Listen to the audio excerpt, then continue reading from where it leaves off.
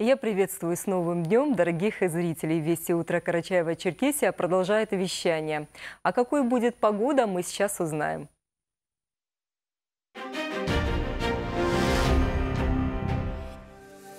Карачаево-Черкесии преимущественно без осадков. Ветер восточный 5-10 метров в секунду. Температура воздуха ночью плюс 3, плюс 8, в горах минус 2, плюс 3, днем плюс 21, плюс 26 и местами плюс 13, плюс 18 градусов. В северных районах местами высокая пожароопасность. Черкесский без осадков.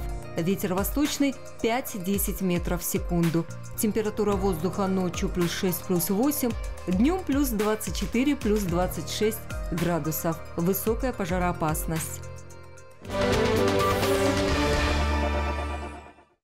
Сегодня в Доме правительства состоится внеочередное пленарное заседание Народного собрания Карачаева-Черкесии, на котором заслушают отчет министра внутренних дел республики о проведенной работе по охране общественного порядка и обеспечению безопасности на территории региона за 2023 год.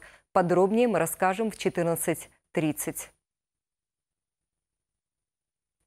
Дистанционные мошенники. Как уберечься от них? Самое главное правило – это прервать разговор с незнакомцем, рекомендуют полицейские. Какие действия нужно еще предпринимать, рассказали сотрудники полиции. Об этом в следующем информационном выпуске.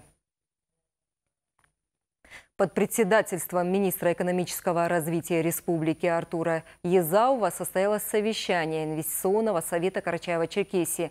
На нем обсудили инвестиционный климат региона, рассказали о мерах государственной поддержки в этом направлении. В прошлом году по поручению главы Рашида Тимрезова совместно с руководителями муниципальных образований региона уже была проведена большая работа по формированию инвестиционных паспортов населенных территорий, включая в себя наиболее полную характеристику каждого из них.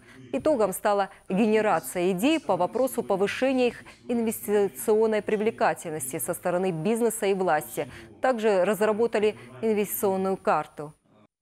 Через несколько минут в эфир выйдет информационный выпуск «Вести на черкесском языке». Затем программы черкесской редакции. Более подробно о новостях сегодняшнего дня в следующем информационном выпуске в 14.30 вместе с Муратом Джанкезовым. Я с вами прощаюсь и удачи!